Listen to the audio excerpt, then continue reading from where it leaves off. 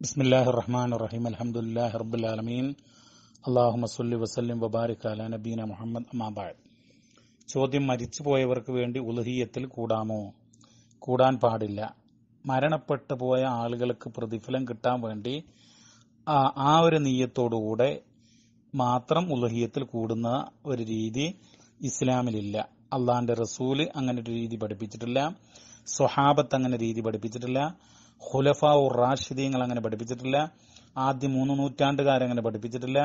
അള്ളാന്റെ കിതാബ് പരിശുദ്ധ ഖുർആാനിലോ സഹിയായ തിരുസുന്നത്തിലോ അങ്ങനെ മരണപ്പെട്ടു പോയ ആൾക്ക് മാത്രം ഒരു ബലി ഇറക്കുക ഉലഹിയത്തിൽ കൂടുക ആ രൂപത്തിലുള്ള ഒരു സമ്പ്രദായം ഇല്ല. അതുകൊണ്ട് തന്നെ അത് വിദഗ്ധാണ് കുറ്റകരമാണ് അപകടമാണ്.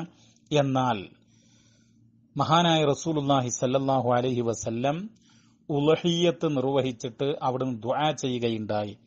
അള്ളാഹുമ്മ തക്കബ്ബൽ മിൻ മുഹമ്മദിൻ വമിൻ ആലി മുഹമ്മദിൻ എന്നിങ്ങനെ പ്രാർത്ഥിക്കണ്ടായി. എന്ന് പറഞ്ഞാൽ അള്ളാഹുവെ ഈ ബലി കർമ്മം മുഹമ്മദിൽ നിന്നും മുഹമ്മദിന്റെ കുടുംബത്തിൽ നിന്നും നീ സ്വീകരിക്കണമേ. അപ്പോ ആ പ്രാർത്ഥന ആ ഹദീസ് ഉണ്ടല്ലോ അതിനെ വ്യാഖ്യാനിച്ചുകൊണ്ട് പണ്ഡിതന്മാർ പറയുന്നത് തീർച്ചയായിട്ടും മുഹമ്മദ് നബിയുടെ കുടുംബം എന്ന് പറയുമ്പോൾ മുഹമ്മദ് നബിയുടെ കുടുംബത്തിൽ നിന്ന് മരണപ്പെട്ടു പോയിട്ടുള്ള വിശ്വാസികളായിരുന്ന ആളുകളുണ്ട്.